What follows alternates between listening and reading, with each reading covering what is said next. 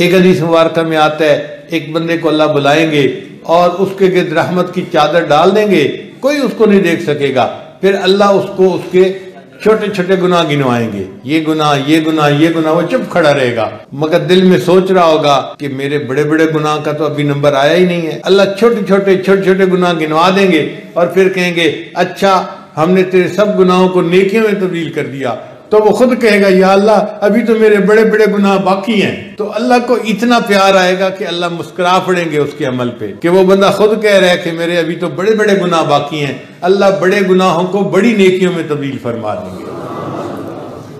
ऐसा अल्लाह ताला रहमत से हिसाब लेंगे कि इंसान को हैरत होती है।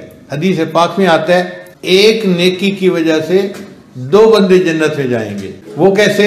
एक बंदे का हिसाब होगा, उसकी एक नेकी कम होगी, एक गुना ज़्यादा होगा। तो फरिश्ता कहेगा, अगर तेरे पास एक नेकी और होती ना तो नेकी और गुना बराबर हो जाते।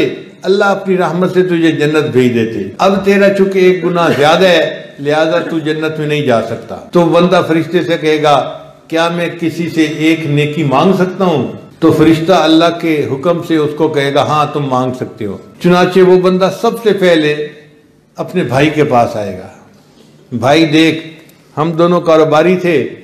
तेरे ऊपर कर्जे होते थे तो मैं चुका देता था। मेरे ऊपर कर्जे होते थे तो आप चुका देते थे। हम दोनों एक दूसरे के साथ कितनी अच्छी ज़िंदगी गुजार के आए। आज मेरे ऊपर मुश्किल वक्त आ गया है और मुझे एक नेकी की ज़रूरत है। और तेरे पास तो बहुत नेकी हैं, तूने तो बड़े चिल्ले लगाए और बड़ी मस्जिदें बनवाई और बड़े मदरसे बनवाए और नेक काम किए। तो भाई एक नेकी मुझे दे दो। वो कहेगा, नहीं, जब तक मेरा हिसाब नहीं हो जाता ना, मैं एक नेकी नहीं देता, मुझे क्या पता मेरा अंजाम क्या होगा? तो भाई इनकार कर देगा। फिर वो अपनी वालदा के पास आएगा। अम्मी, आप मेरी माँ हैं। मेरे ऊपर कुर्बान होती थी। मुझे कहती थी, बेटा, तुझे तो गर्म हवा भी न लगे। और मुझे आप कहती थी, मैं तो आपके ऊपर सब कुछ कुर्बान कर दूँ। अम्मी, मुझे एक नेकी की ज़रूरत है। और आपके पास तो बहुत नेकी हैं, अंबार लगे हुए हैं। आप तो हजत पढ़ती थी, ये करती थी, वो करती थी। अम्मी, एक नेकी मुझे दे दें। वो कहेगी, बेटा जब तक मेरा अपना हिसाब नहीं हो जाता मैं एक नेफकी नहीं देती मुझे क्या पता मेरे साथ क्या होगा।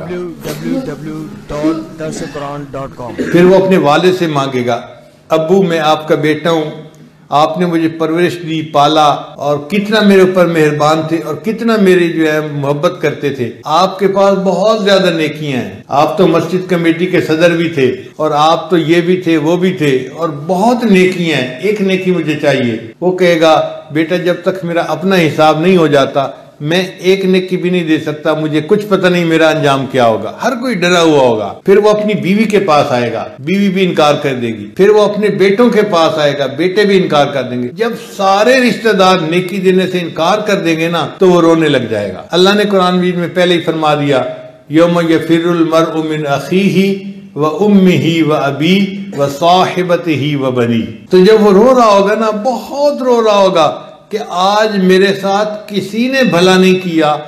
एक नेकी मुझे किसी ने नहीं दी। मुझे कितनी उम्मीदें थी इनके साथ? कोई मेरे काम नहीं आया। तो एक बंदा उसके करीब से गुजर रहा होगा, वो उसको रोता देख के खड़ा हो जाएगा। पूछेगा, यार, ये इतना क्यों रो रहा है?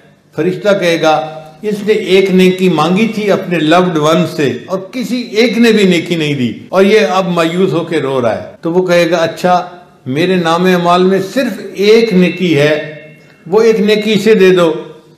मैंने तो जहन्नम में जाना ही है। एक नेकी जो हुई, बाकी तो कुछ है नहीं। तो अगर ये जन्नत में जा सकते हैं तो चलो मेरी वजह से ये जन्नत चला जाए। जब वो बंदा नेकी देने का ऐलान कर देगा ना तो फरिश्ता ऐलान करेगा, एक बंदे ने अपनी नेकी दूसरे को दे दी। अब क्यामत के दिन ये इतना अजीब काम होगा कि मखलूक हैरान हो जाएगी। अच्छा एक बंदे ने अपनी नेकी दूसरे को दे दी अल्लाह ताला फरिश्ते से पूछेंगे, फरिश्ते, तूने कैसा ऐलान किया?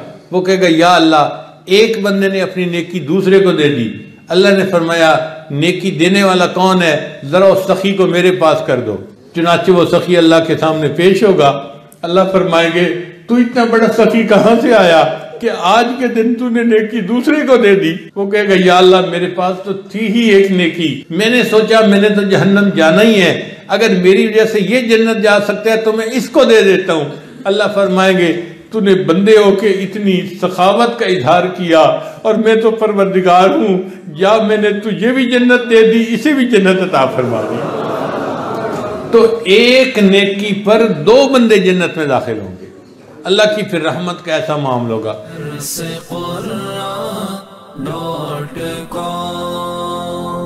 www.dasquran.com